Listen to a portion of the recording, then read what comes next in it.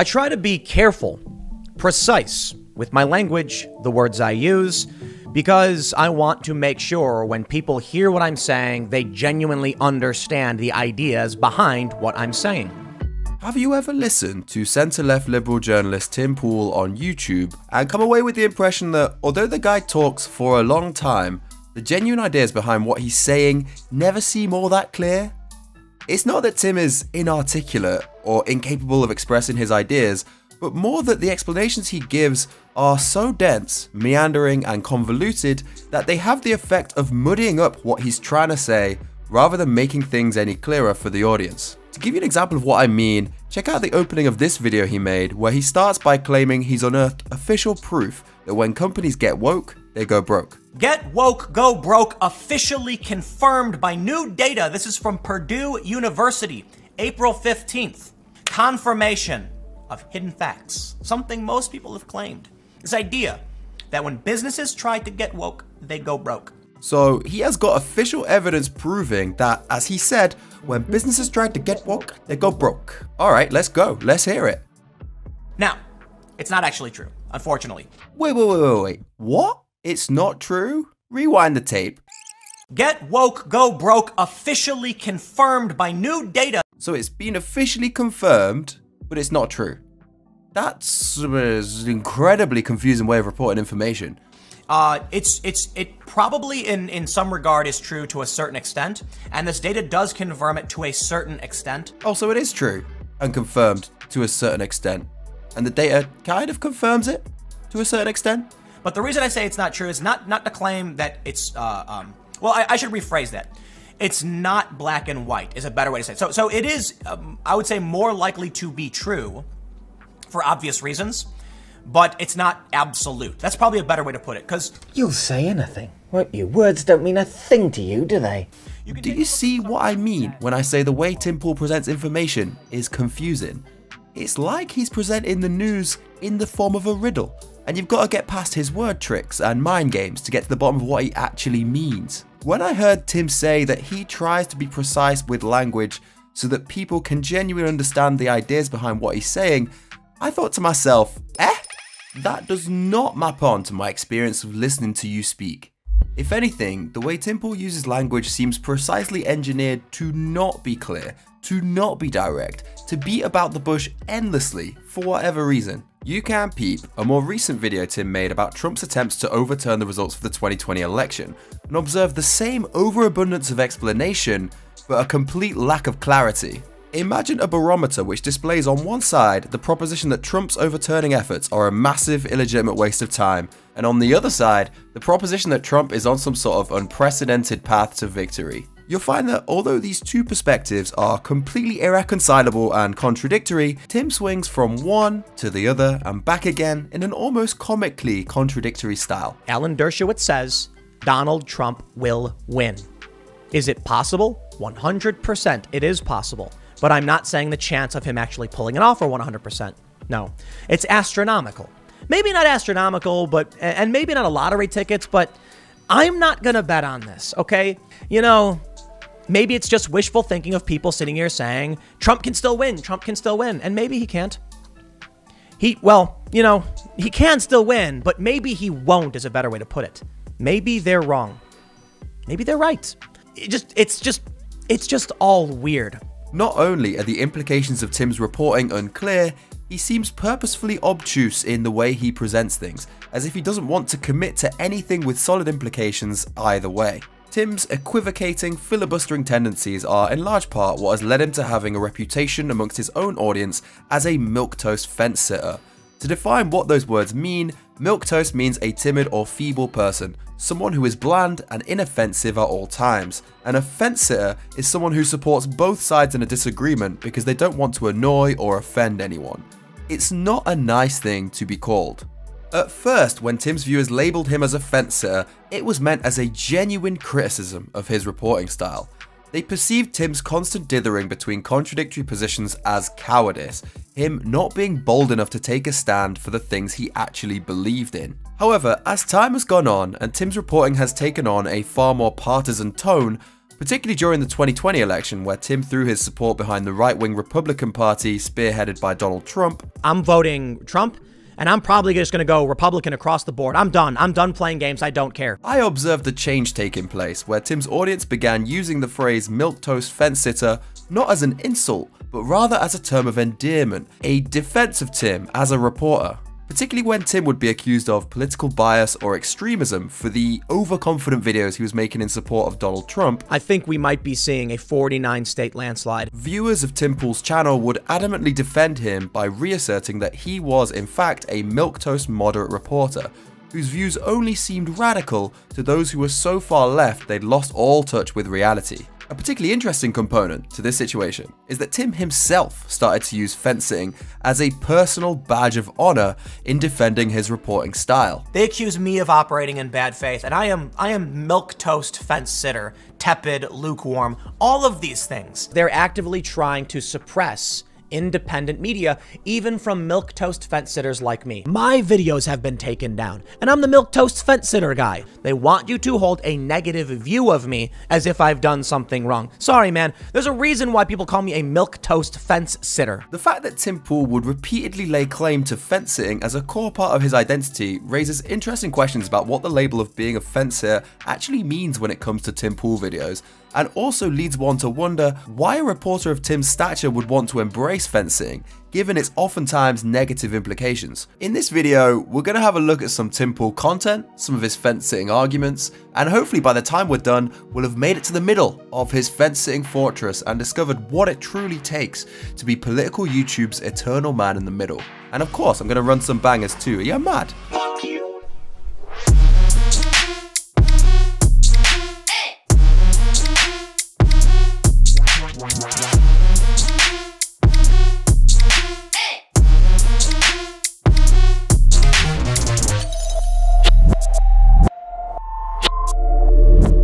Let's start by looking at this video from 2018.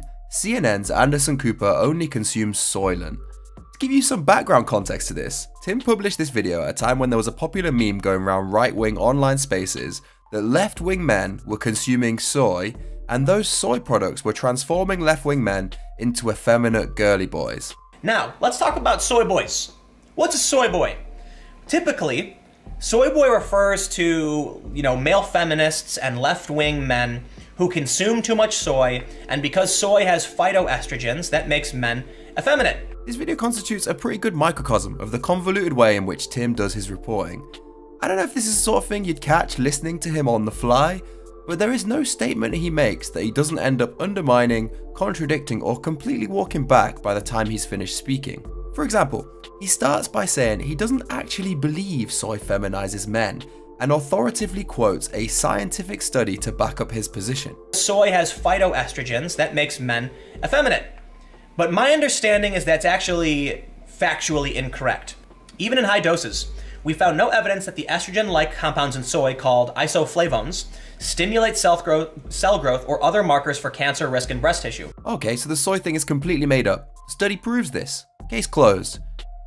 But then in the next sentence, Tim immediately backs away from the findings he just read out, saying, "Sorry, I actually don't know anything about this. I just did a quick Google search." Well, this this this study, I, I gotta admit, is just uh, it's a cursor. I just did a quick Google search and pulled something up. But there's a bunch of other studies, so I recommend reading it. Tim definitively cited that study as a credible answer to the question at hand. But just two seconds later, he's backtracking, diminishing what he just said and undermining the scientific findings which he himself decided to present for this news segment. Next, Tim moves on to say that the idea of the soy boy is just a joke, and most people don't actually believe it. I think when it comes to the idea of the soy boy, it's mostly a joke. Most people recognize that soy isn't actually turning dudes into effeminate, you know, weirdos. But then, in the next sentence, Tim highlights an InfoWars video from Paul Joseph Watson and says that Paul has data showing that soy does turn men into effeminate weirdos. But I'm pretty sure Paul Joseph Watson has a video where he goes over data showing that it does. So it's another very strange presentation of information here. Tim tells us that nobody actually believes soy feminizes men, but then hastily presents the contrary information that a YouTuber has shown with data that it does. And to fully grasp the bizarreness of the contradiction Tim is weaving here, have a closer look at the language he uses. When he says most people recognize soy doesn't feminize men, the fact that he used the verb recognize implies something about his own stance on the issue. To recognize something is to acknowledge a truth, to realize something which is already valid. So we are given the deliberate impression that like the most people Tim talks about, he doesn't believe the soy myth to be true. But then look at his choice of language over here in the very next sentence that comes out of his mouth.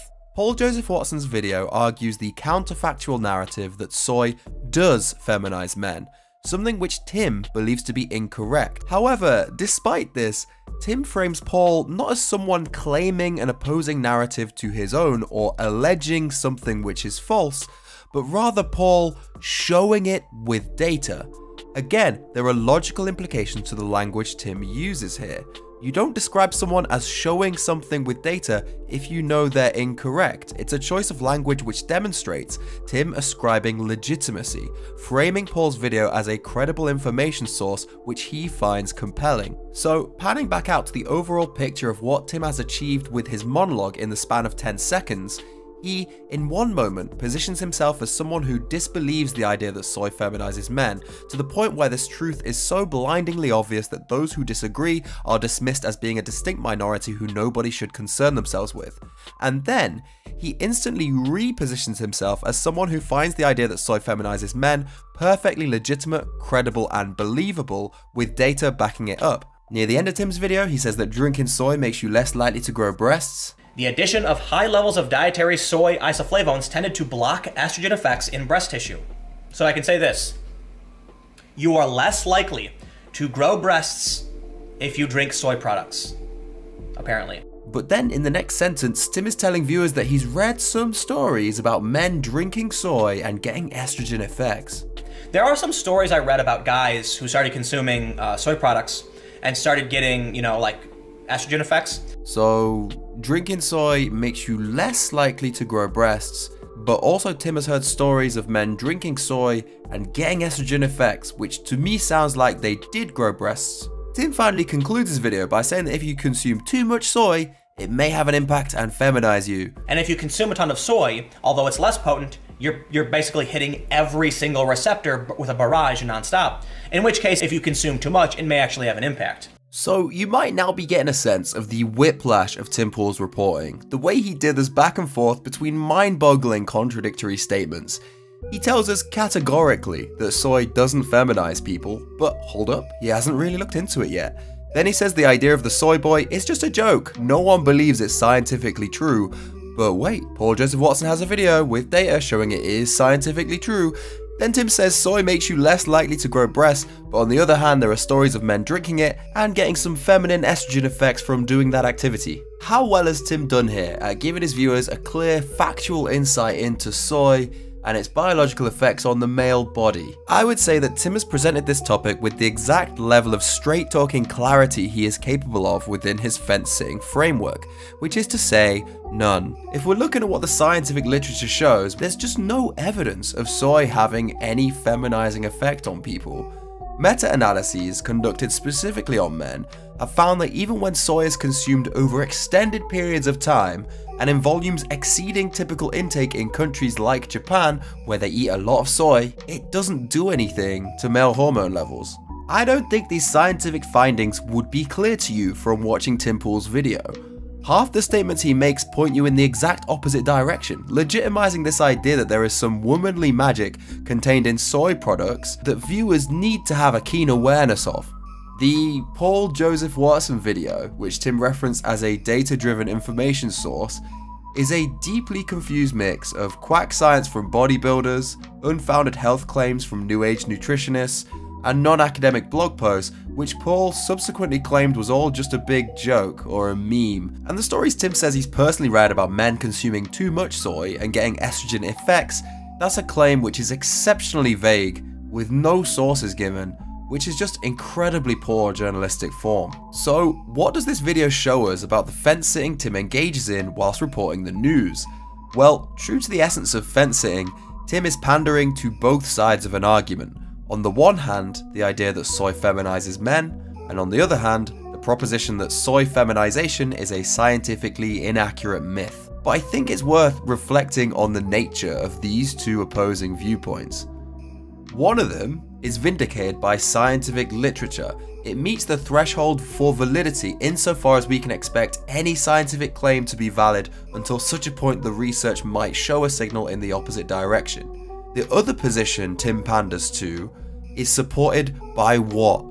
An Infowars video where a guy speaks in a gay chipmunk voice Soy isn't healthy? Okay, but I'm literally using it as a dairy substitute, so what's your point? Soy boy. and Tim Pool's own personal unsourced anecdotes. Two extremely shaky foundations which immediately crack under scrutiny. However, this massive discrepancy between the evidence presented on either side of the debate which is extremely clear when you dig into the evidence, that is totally lost in Tim Pool's pontificating stream of consciousness. As a result, scientifically illiterate nonsense emerges from Tim Pool's reporting, being given the same weight and credibility as claims vindicated by scientific research. Therein lies an interesting problem.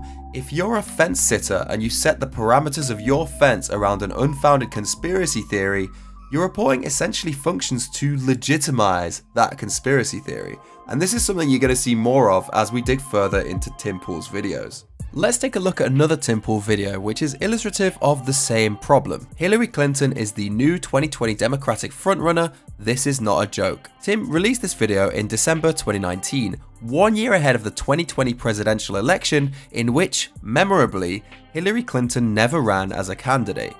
Tim wanted to tell his audience about a theory he'd been working on. Here's my working theory on Hillary Clinton. All of these other candidates are failing, right? Joe Biden is now has now lost his edge. I think they're going to say, you know, we, we don't have a strong enough candidate. We need a real leader. Joe Biden isn't up to it. You've seen his gaffes. Elizabeth Warren is, is fizzling out. We need a, a moderate voice. How about Hillary Clinton?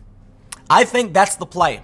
So, Tim's assessment is that behind closed doors, the establishment is lining up Hillary Clinton to run as the real Democratic candidate in 2020, replacing Joe Biden because he's making too many gaffes. What evidence does Tim have for believing this?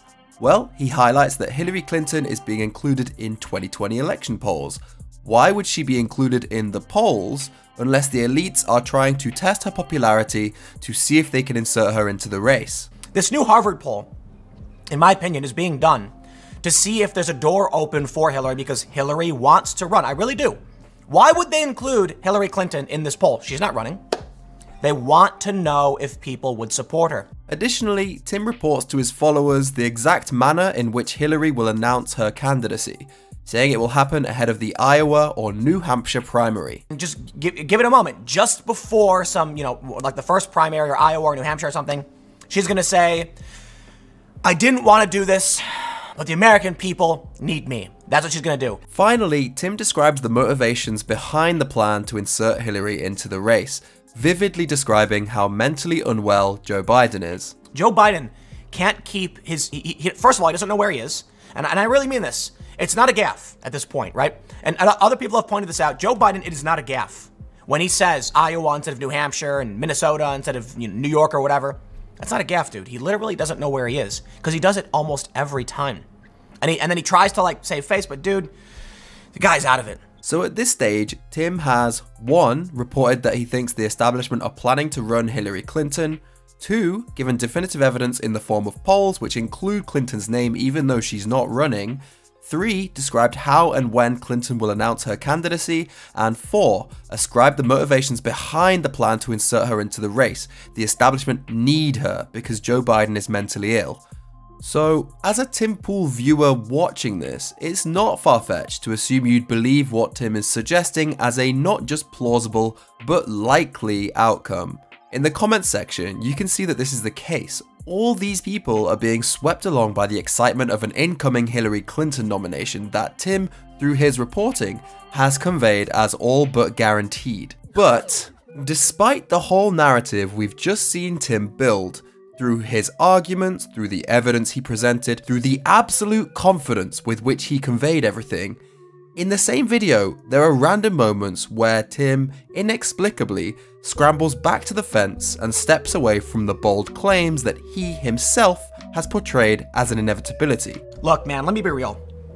I'm not entirely convinced she will run. So I, I'm kind of, I gotta be honest, I'm leaning towards I really don't think Hillary Clinton will run. At this point, it's too late. I don't think she'll be she'll she'll be running. I don't. I don't. I, I, I don't necessarily want to read through all of this other rehashed speculation about what's going on. So, in the same video where we have Tim saying that the establishment are planning to run Hillary Clinton, that the polls show them gearing up to do this, and that there is a guaranteed monologue Hillary will drop when she announces her candidacy ahead of the Iowa or New Hampshire primary, in a stunning turn of events, Tim declares that actually None of what he said will actually happen. He doesn't think there'll be a Hillary Clinton run. It's too late anyway. He doesn't want to speculate on these things. All of this, the passionate argument for the secret Hillary Clinton nomination, and the dismissive argument against, all of it occurs in the span of a 15 minute news segment. It's as if there are two tiny journalists in Tim's brain working from the same bits of information but arriving at opposite conclusions. And they both have access to levers which they can pull to operate Tim's mouth, and neither of them is managing to retain full control of him, so he's spurting off statements in opposite directions. So I think what's really happen- happening is there is a strong possibility Hillary Clinton does run. I don't think she'll be she'll she'll be running. I don't. I don't. One persona that Tim is performing as fiercely believes Hillary will be running as the Democratic candidate, and he has all this evidence to back it up. But Tim's other persona thinks that's utter nonsense and we shouldn't speculate on these trivial bits of information. Now, in case it wasn't already clear to you, the argument Tim presented for Hillary Clinton's secret run was based on irrational, connect the linear dots to make a unicorn sort of thinking. Case in point, Tim draws massive attention to the fact that Hillary Clinton's name was being included in 2020 polls, and suggests this is evidence of the establishment lining her up for a presidential run. But why?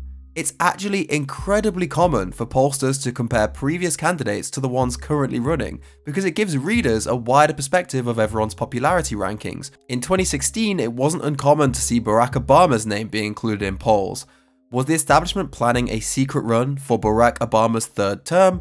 No, that would have been impossible and illegal.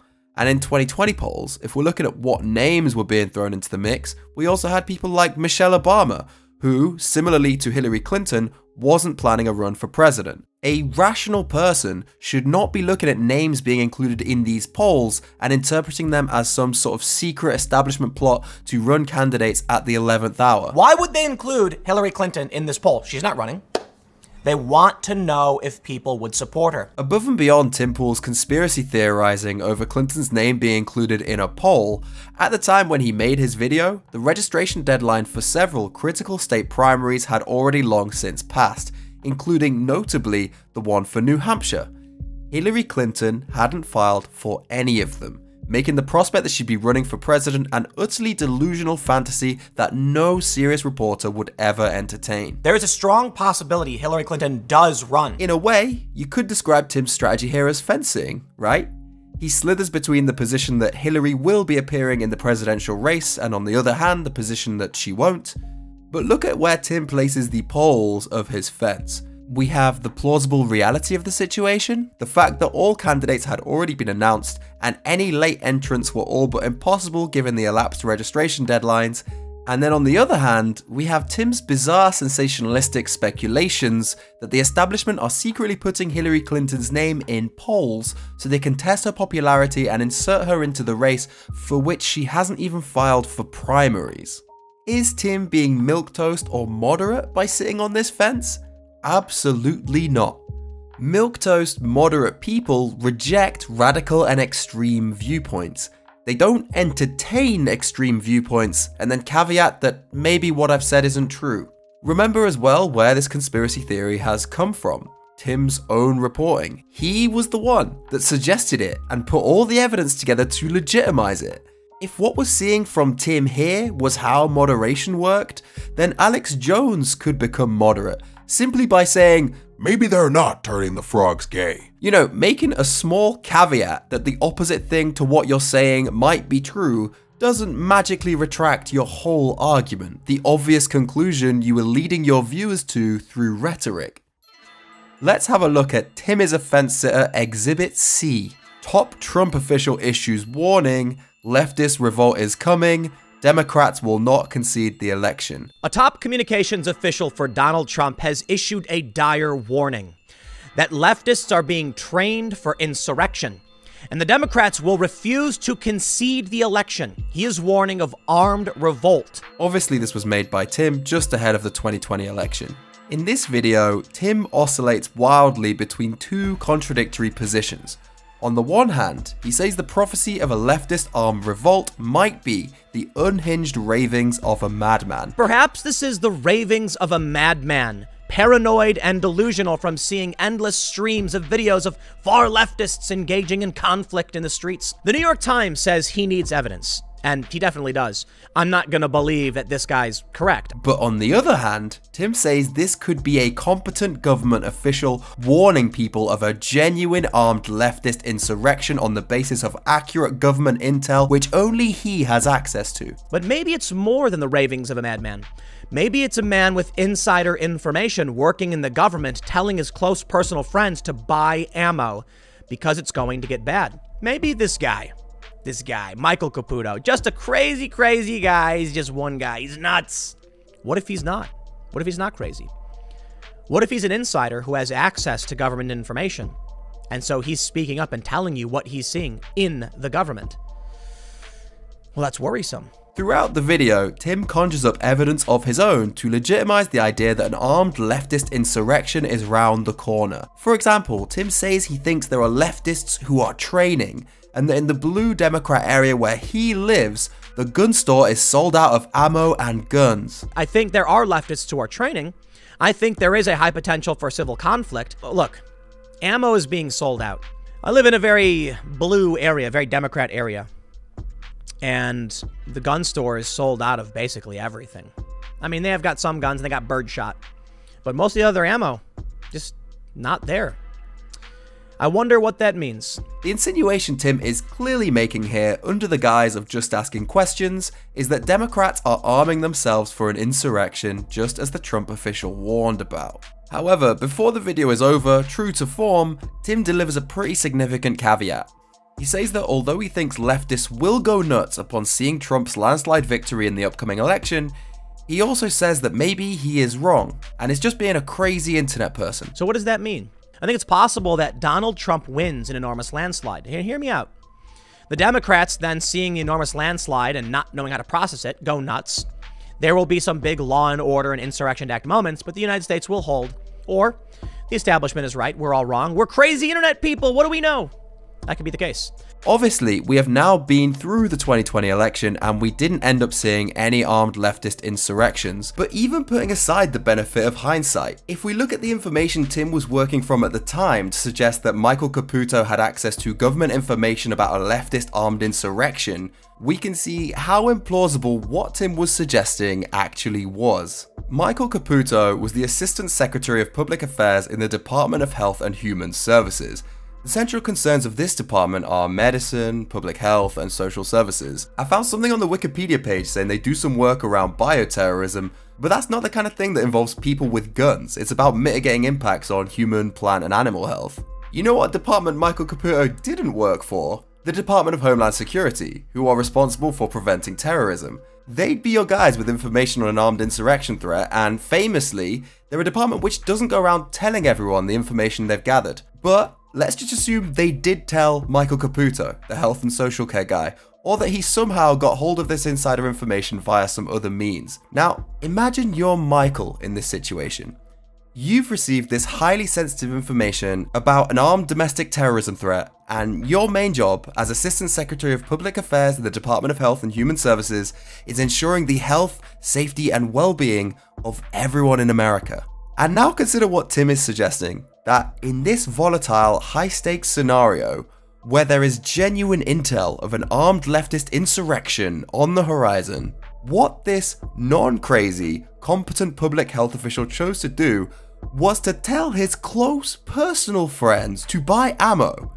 And he did this not by telling them in person, or over the phone, or even by direct message. He jumped on Facebook Live in a public broadcast to 5,000 Facebook followers and indiscriminately just announced the top secret government information to his entire social media feed. I'm not going anywhere. They're going to have to kill me. And unfortunately, I think that's where this is going. The partisan Democrats, the conjugal media, And the scientists, the deep state scientists, want America sick through November. They cannot afford for us to have any good news before November because they're already losing. There are scientists working for this government who do not want America to get better. Did you hear me? I'm not going anywhere. They're not going to run me out. If the president asks me to leave, I will leave. I really want to leave. Some of you who know me know that my health is failing. My mental health is definitely failing. What if he's not crazy? Tim's theory of Michael Caputo being a competent official who just wanted to warn a few close friends about genuine intel he had falls down completely when you watch the Facebook live stream Caputo actually made. He doesn't pinpoint any intel which could be used to prepare people for a domestic insurrection threat. It's a series of vague illusions about people being out to get him and deep state scientists who don't want to heal people, and you can tell he isn't mentally in a good place at the time of recording. Shortly after his Facebook livestream, and just a few days after Tim Pool's video positioning Caputo as a credible information source, Michael Caputo apologized for his outburst and was placed on leave following a diagnosis of metastatic head and neck cancer. So let's summarize what we've seen so far. We've seen a video where Tim sits on the fence about whether or not soy feminizes men, a video where Tim sits on the fence about whether or not Hillary Clinton will be inserted into the presidential race by the establishment at the 11th hour, and a video where Tim sits on the fence about whether or not a Trump government official has received top secret intel of a genuine armed leftist insurrection plot. It's worth taking a step back and acknowledging that, from a purely logical standpoint, none of the fence sitting rationalizations Tim has made here actually make any sense. If you think the idea that soy feminizes men is factually incorrect, as Tim does, then it's kinda illogical that you'd be referencing an InfoWars video that alleges the opposite as a data driven source of information, because to your own understanding, Paul Joseph Watson is spreading misinformation. Likewise, if you don't think Hillary Clinton will actually run for president, as Tim acknowledges, then it doesn't make sense for you to be conjuring up conspiratorial evidence of an establishment plot to install her as the Democratic candidate, because remember, you don't think she's running. You don't think any of this is going to happen. So why are you leading all of us on this wild goose chase for something that you don't even believe is going to happen? And finally, if you suspect there's a chance that an information source is mentally unwell, as Tim does in the case of the Trump official Michael Caputo, it's strange to hold that person up as a genuine source of secret government intel and weave this sprawling narrative around their claims, because you're effectively hanging your journalistic integrity on the testimony of a guy who you think might be mentally ill. It doesn't make any sense. The reporting we've seen from Tim in these examples isn't just strange, it's implausible. The guy takes one set of facts and consistently manages to pull out two randomly opposite conclusions. The New York Times says he needs evidence, and he definitely does. I'm not gonna believe that this guy's correct. He's speaking up and telling you what he's seeing in the government. Well, that's worrisome. I have a brain tumor. Like, he talks as if these non sequiturs and contradictions coming out of his mouth are perfectly normal things for a reporter to be saying and thinking, but they're conceptually impossible. This brings me on to something more fundamental we need to grapple with, which is that I don't think Tim is being sincere when he pulls these diametrically opposed conclusions out of thin air. When Tim reports the news, it never feels like he is communicating his sincere beliefs, but rather positioning himself strategically around the topic at hand, constructing an evocative performance. And for this reason, along with others I'm about to get into, I feel that calling Tim a fencer sort of misses the mark in terms of what he's actually doing in these videos. When you watch a fat load of Tim Pool news segments, what you'll notice is that Tim routinely front loads his monologue with incendiary, politically charged, often far-fetched narratives, which he invests significant time expounding upon. But then at random moments, Tim suddenly backs away from these narratives that he's created, caveating that the opposite of everything he said might also be true, and saying that he doesn't want to allege anything without evidence, despite the fact that in most instances by this point he's usually alleged a whole load of stuff without evidence. Putting aside the uncanny absurdity of all this, it's worth paying special attention to the way Tim uses rhetoric when weaving sensationalist narratives versus how he speaks when caveating the opposite. When Tim is entertaining sensationalistic claims, he gets visibly energized and his manner is intense. He delivers statements passionately, he patiently, methodically develops persuasive arguments, and he conjures up a lot of circumstantial and anecdotal evidence to support the sensationalistic angle, whether that be Hillary Clinton's secret election campaign or the armed leftist insurrection. Tim is not just reading and broadcasting information here, he is taking the viewer on a persuasive emotional journey, using rhetoric to make things which might initially seem far fetched suddenly feel plausible. By contrast, when Tim suddenly pivots to acknowledge the other side of the story, when he admits, for example, he doesn't actually think Hillary will be running, and he recognizes the Facebook guy predicting a leftist insurrection might just be paranoid and delusional, these acknowledgements are incredibly understated. The forceful cadence and heartfelt passion of Tim's earlier delivery is replaced with bureaucratic indifference. Tim throws out these contradictory statements of clarification which come completely out of the blue, completely divorced from his main argument, without any weight behind them or any counter evidence being given in their favour. Even when you're watching Tim saying these caveats live, as soon as he's moved on to his next bit of dialogue, you've forgotten them because they are, by their very design, forgettable. What this ultimately means is that although two viewpoints are theoretically represented in each Tim Pool video, only one of them is elaborated on and given room to resonate. And you can see this effect playing out in Tim's comment sections. When Tim expounded upon the theory that the establishment would be inserting Hillary Clinton into the race at the 11th hour, his viewers believed him and ran with that narrative, regardless of the fact that Tim quietly walked back the claim at several points during the video. Similarly, when Tim said there'd be an armed leftist insurrection, again, his viewers believed him and began rallying around each other for the upcoming battle with their political enemies, despite the fact that Tim pointed out the information source might not have been credible. You could say that these people are ignoring some of the information Tim gives, but who can blame them? The way Tim structures his reporting and selectively employs rhetoric guarantees this outcome. Tim's fleeting acknowledgements of reality are entirely divorced from the main thrust of his hyperbolic, sensationalizing sermons. And this is why it doesn't seem accurate to describe Tim as a fence-sitter. He is aggressively selling the goods on one side of the fence. His quote unquote counter arguments represent nothing more than flaccid backpedaling of things that have already been alleged during the sensationalist portion of his news coverage. I don't know if there's a proper academic term to describe what's going on here, so I've made one up.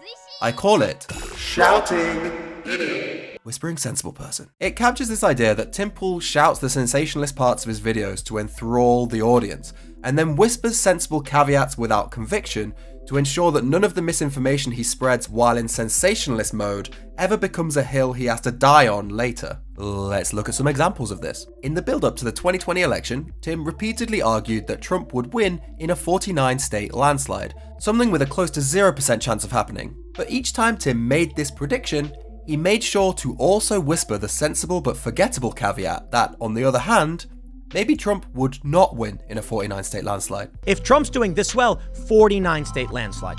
Okay, maybe not. Maybe that's a bit much. Plus, you got Trump's secret voters.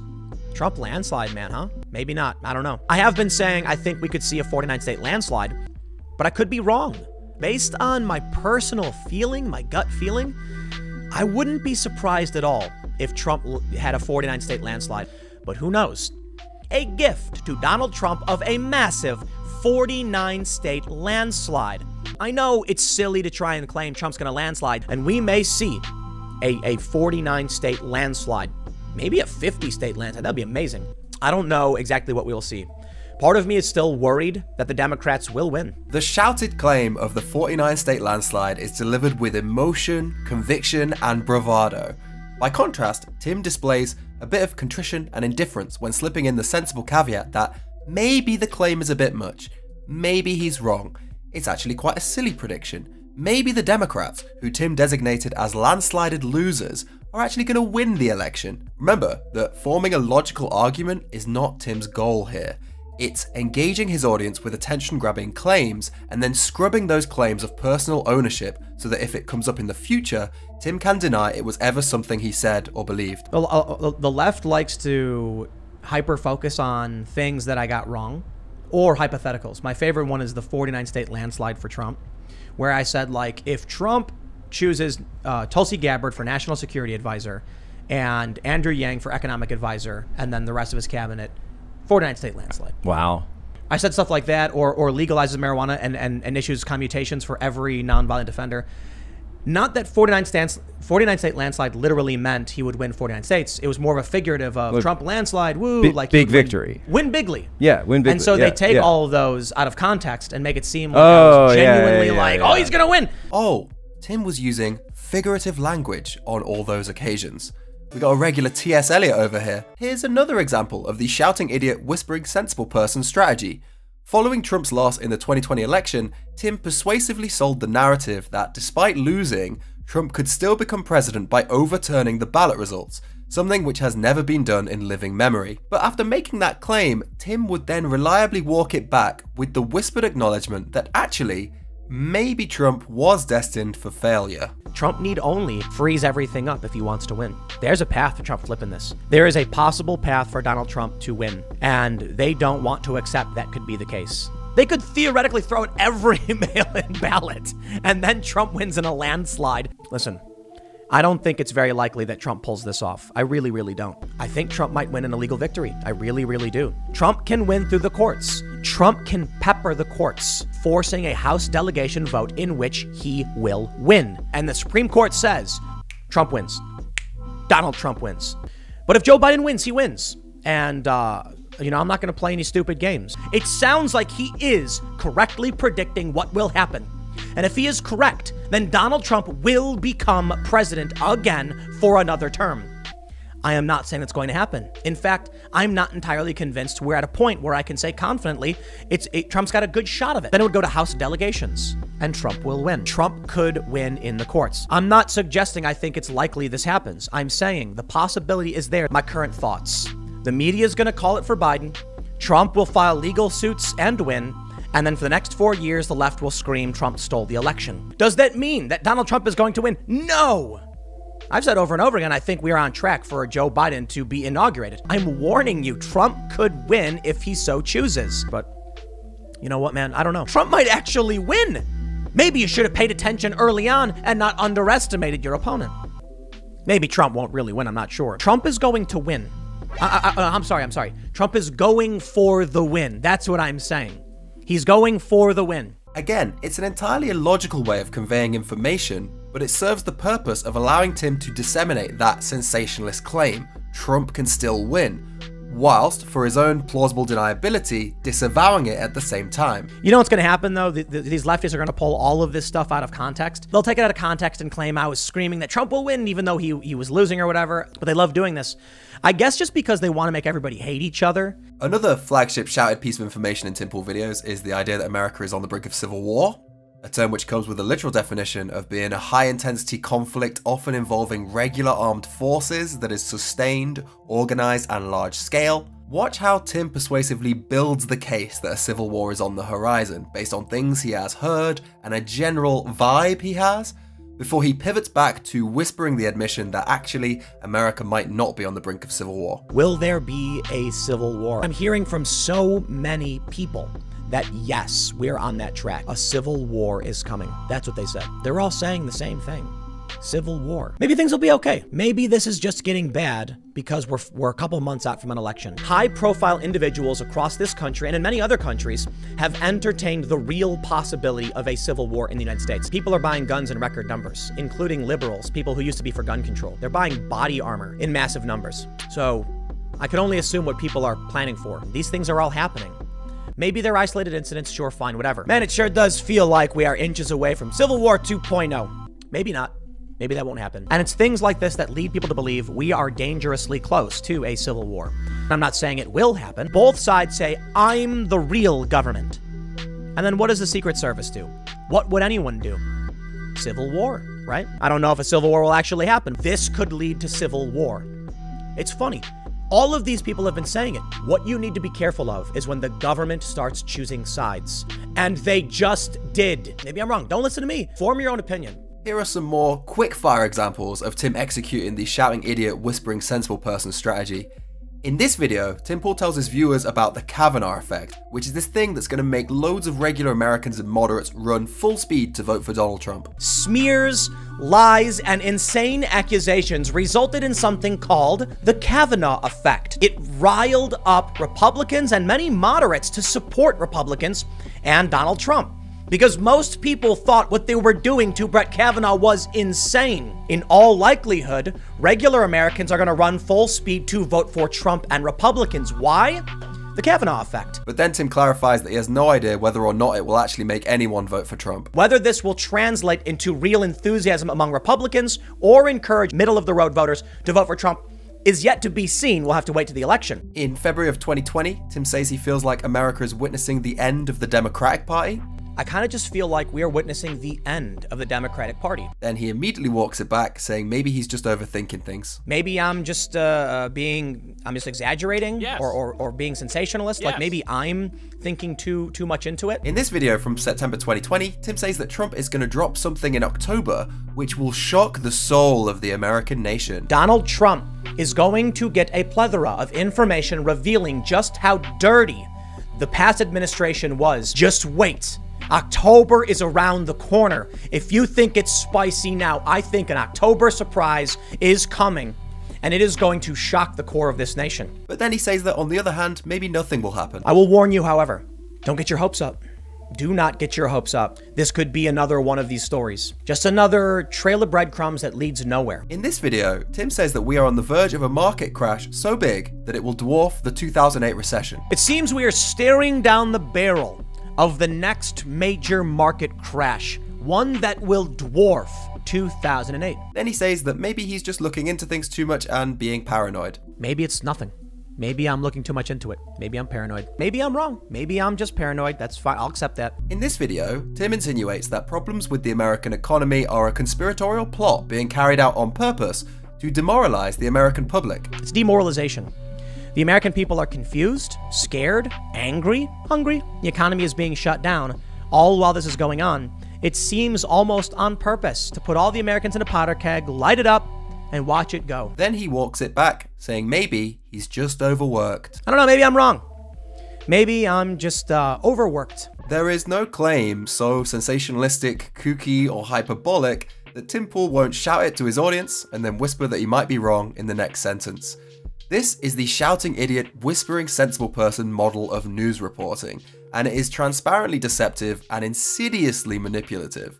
It allows Tim to stir the pot with sensationalist claims he has no factual basis for, and then bureaucratically walk them back, spreading misinformation, but avoiding public accountability for his own words. And for me, it's this deceptive practice that dominates Tim Pool videos. Not fence sitting, but sensationalizing and backpedaling. The final thing to discuss before this video is over is why does Tim do this? Given the size of his platform and the loyalty of the audience he has, why does he feel this need to hide his opinions behind layers of subterfuge instead of just speaking his mind and saying what he genuinely believes without the backpedal? Well, as it happens, the critiques of Tim Pool in this video are nothing new. In fact, members of Tim Pool's own viewer base, in his YouTube comment section, in his Reddit, and on other sites where his viewers congregate, have commented on this bizarre tendency Tim has of saying things only to unsay them two seconds later. And there are a range of different theories people have for why he might be hiding his true opinions.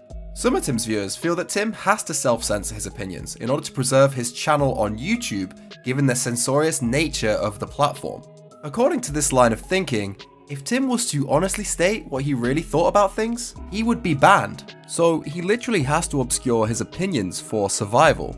Another line of thinking amongst more conservative Tim Pool viewers is that Tim is far more ideologically aligned with their hardline America First nationalism than he lets on, and his fence sitting is some sort of strategic move intended to bring moderates and liberals on YouTube round to the right wing populist MAGA worldview. A lot of people on sites like the Donald raised this during the 2020 election, and were very thankful to Tim for bringing more people to their movement. However, I want to discard all this silly political theorizing and posit that something people often forget is the extent to which Tim is subject to the same normal pressures as his counterparts in the mainstream media, in that he needs to constantly find ways of raising engagement on his channel in order to drive his bottom line, pay his employees, etc. And the tried and tested formula for getting engagement in news content, whether you're in front of a well lit MSNBC backdrop or Tim's sword and gun crossed over, it's fucking badass, is sensationalism. Studies have shown that sensationalism in news coverage makes people engage with stories a lot more. People spend a longer time watching the news when it has a sensationalist angle, and this effect is further amplified when the stories are about negative events such as fire, accidents, crime, and riots. However, although media viewers are drawn to hypersensationalism, they don't see it as something which can be easily reconciled with honest journalism. An Axios poll from early 2021 showed that one of the big reasons people had for distrusting the media was that they believed reporters were purposefully misleading them through false claims and gross exaggerations. Ironically enough, the exact same things that drive people's engagement in news in the first place. People are inherently massively hypocritical like that. Although Tim Pool's monologues are contradictory, muddled, and dense, they actually present a pragmatic solution to this problem in that they allow Tim to deliver sensationalist angles whilst retrospectively justifying it to his audience as moderate fence sitting analysis. They want you to hold a negative view of me as if I've done something wrong. Sorry, man. There's a reason why people call me a milquetoast fence sitter. Unlike the mainstream media, Tim Pool is not someone who grossly exaggerates and alleges false claims because he's a fencer, simply exploring one half of an equation. The fact that what he's saying often comes across as hyperbolic, excessive, and implausible is negated by the fact that he also makes sure to say the opposite. Not in a way which would be persuasive to anyone who's already bought into Tim's sensationalist angle, and not in a way which would turn off any invested believers who see Tim as a close ally and teller of hard truths but the caveats are still there in Tim's video. So an illusion of balance is constantly carefully maintained even if it's not reflected in the logical outcomes of Tim's reporting. And make no mistake, the value of the fence sitter label is not lost on Tim Pool. I come to a conclusion. I don't come to it easily, which is why people call me a milquetoast fence sitter. When it comes to you know A milk, a milquetoast what? fence sitter. Fence sitter. Yeah, because I often don't take very strong opinions on a lot of po- political issues. I've never been this hard, hardcore partisan individual. You know, I'm a, a fence sitter for uh, obvious reasons. I don't have strong enough opinions one way or the other on, on the way the country should be run. So that's why I'm, I'm you know, I'm, uh, you know, people say I'm a fence sitter or whatever, but no, I think I have just a rather moderate position. You know, people want me to jump on one side or the other overtly, and I'm like, it's not so simple. What Tim is doing by loudly banging the drum of his own milquetoast fence sitting identity is something close to lampshading. If you haven't come across the term lampshading before, it means the creator is drawing specific attention to something in their own work which feels implausible or contrived or which stands out for some other negative reason. And the creator is deliberately drawing the audience's attention to this thing in order to reassure them that the creator is aware of the thing, they're in on the joke. A lot of YouTubers use lampshading to get away with bad jokes, or handwave poor production quality, or generally own the fact that they're a bit weird. It's actually a great way of nipping these kinds of criticism in the bud, because by directly acknowledging a negative thing about their own work, it takes the wind out the sails of those who would otherwise use it to attack them.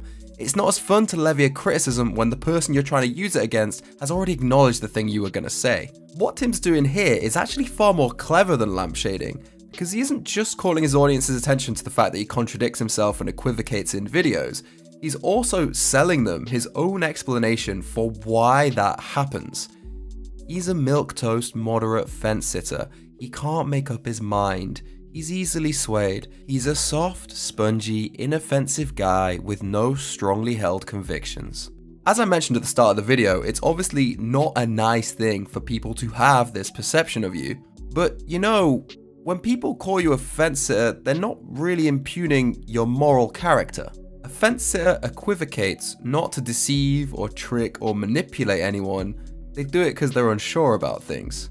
If you're someone who routinely equivocates as much as Tim does, being called a fencer is kind of like a get out of jail free card. As long as Tim's audience believes him to be a fencer, they're not going to view him as a liar, or someone who exploits their anxieties, or a sensationalist who distorts the news to make them click on his videos while simultaneously walking back all of his own claims so that he can't be pinned down on any of the misinformation he spreads.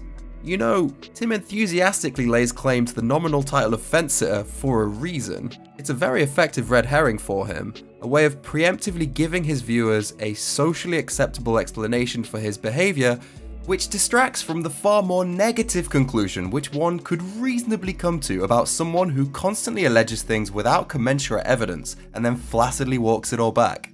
That's not to say that the illusion of fence sitting only works to benefit Tim though, it's equally true to say that it has political utility for a lot of his audience as well. One sentiment you'll see reflected amongst a significant proportion of Tim's viewers is the idea that other forms of media are not worth bothering with, for various reasons, but a common one being the media's tendency to exaggerate and tell lies. I know, like like everybody knows, bombastic sensationalist nonsense makes cash.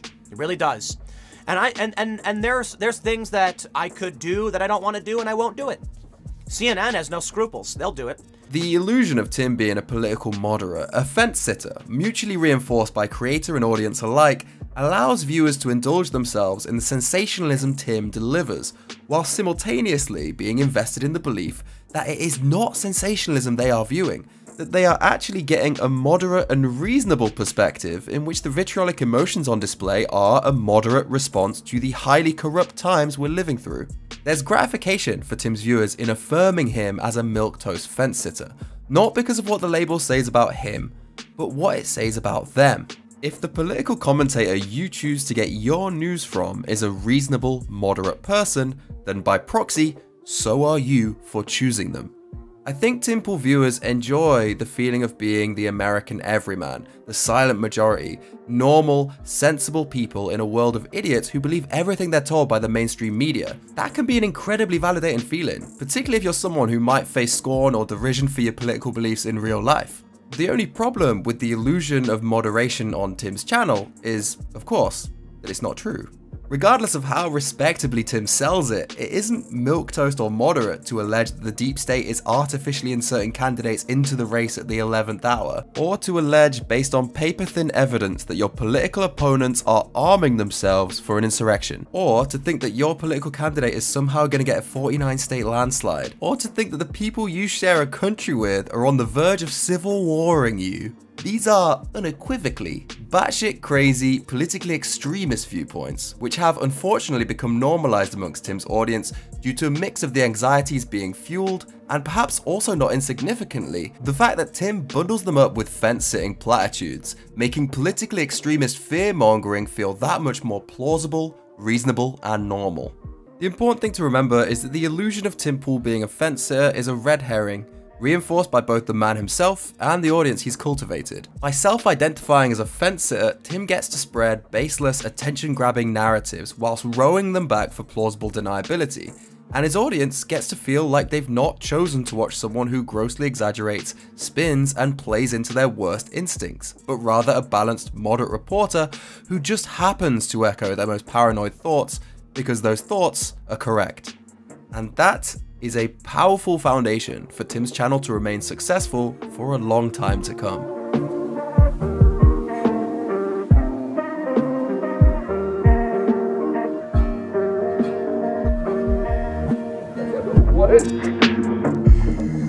Hey yo, white people going crazy in the comments. Yes, yes, yes, yes, yes. Hope you're well. Thank you very much for sticking around to the end of this video. I hope you found it interesting. If you did, please like and subscribe to increase the serotonin that will flood my brain. The names whizzing up the screen right now are my Patreon gang. Thank you all so much for giving me your money. I like it when you do that. If you're a regular Timbah video enjoyer, consider becoming one of them. I need to give a very big shout out to a man called Timpool Clips, because this guy helped me massively with the research for both the vids I've made about Tim so far. Whenever I went to him with vague descriptions of things I remember Tim saying at some point in the past, he knew what videos I was on about, and I can't thank him enough for his help. I couldn't have done this without him. Now onto a slightly new thing for my channel. In the credits sections of my vids, I often like to spitball, so there's some time for my patrons' names to scroll by at a strong and stable speed. And in the last few vids I've done, I found it difficult to think of things to say. So starting with this vid, I'm inviting my patrons to ask me questions. And in the credits sections of my videos, I will read out answers. So, this video's question comes from Ellie, who asks, who would win in a fight out of all the people you've covered on your channel? Thank you for that thoughtful question, Ellie. It's something I've wanted to address for a while, so I'm glad it's come up. First of all, please understand that I would conceptualize the fight as a battle royale rather than a series of man-to-man hand combat tournaments. So we're not necessarily talking about sheer physical prowess here, but rather who can most effectively leverage a strategic victory. To me, it's obvious that in the week leading up to the fight, Dave Rubin would tag a lot of other people on Twitter, most likely Larry Elder, Ben Shapiro, Jordan Peterson, and Candace Owens, and he'd be like trying to rally them to his side. But obviously, everyone he tagged would ignore him, so he'd just have to come to the fight on his own. James O'Keefe in a battle royale scenario would have all kinds of Project Veritas tricks up his sleeve. So he'd be putting on different disguises, he'd be like going behind rocks and coming out dressed as Tim Pool, and he'd be able to turn his opponents against each other with mind games. However, I think Tim Pool could DM the Proud Boys and get them to turn up and fight on his behalf. And this would be strategically effective because every time one of the other combatants would point out the unfairness of this, he could accuse them of being on Antifa's side. Like everyone's like, Tim, tell the Proud Boys to stop attacking us. This isn't fair. And Tim's like, you're going on and on about the Proud Boys, yet you're completely silent about Antifa? Antifa are disgusting people. If we're relegating this to just political figures, then I think James O'Keefe would probably win. Because even with the Proud Boys on the battlefield, James could convert them to his side by showing them an edited video which definitively shows Tim saying, Proud Boys are disgusting. But you know, I also made a video about the Grime MC Flirta D in 2019, and if he turns up then you know what time it is. Cause whoever I battle, we got this shit Canada. Come here, this shit. Ah, ah, fatality, fatality. So yeah, the fight would be Flirters if he wants it. So I hope that's resolved any confusion people might have around the question of who would win in a fight out of the people I've featured on my channel. Thanks for joining me for this vid, and please come back whenever it is that I manage to pump out the next one. Bye. It's not